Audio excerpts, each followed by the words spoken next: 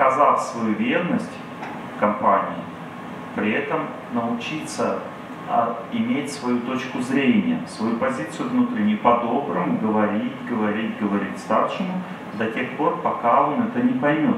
Потому что старший это тот, кто трудно пробиваем. Старшему очень трудно донести, потому что старший это компетентный человек, у него есть определенный запас уверенности в том, что происходит. И для того, чтобы э, решить ситуацию, нужно очень по-доброму и сильно доносить. Вот я знаю, допустим, такая ситуация была, кстати, насчет Сталина в начале, в 41 году, когда ну, люди боялись ему доносить то, что есть, понимаете? И те, кто не боялись, они потом возглавили армию, это Жуков там и так далее, которые имели силу доносить.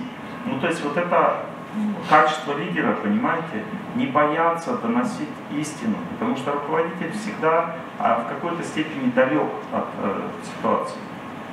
Понимаете, ему нужно, э, чтобы кто-то доносил. И для этого нужно одновременно иметь силу в подчинении, и силу в зависимости и силу в независимости. Сначала силу зависимости надо научиться иметь, а потом уже силу независимости. Вопрос только в одном. Ваш руководитель не понимает, что происходит. Все, больше нет никаких вопросов. Если бы он понимал, то бы начались изменения.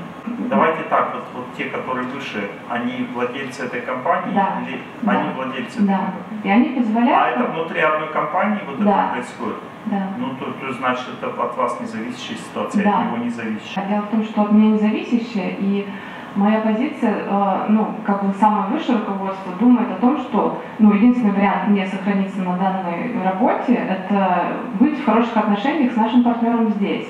Но дело в том, что я понимаю, я вижу ситуацию, я вижу, что они сотрудничать не хотят, они показали своими действиями, своими там ответами, что тут как бы не идет речь о сотрудничестве, они просто хотят все это завладеть, высшее руководство дало добро, а Сохраняйте нейтралитет.